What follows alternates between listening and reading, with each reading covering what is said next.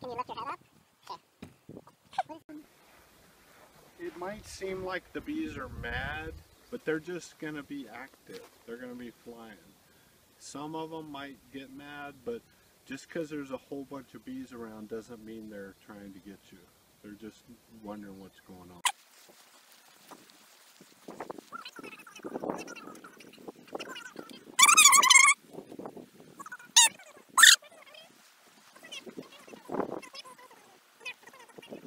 Yeah,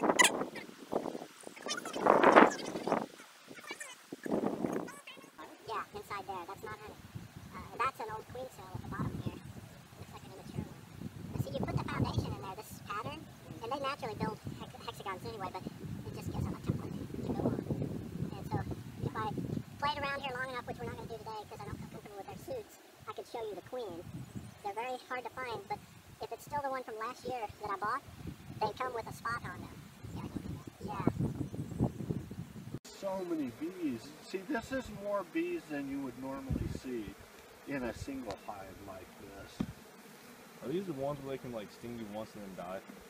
Yeah, they sting you once and die.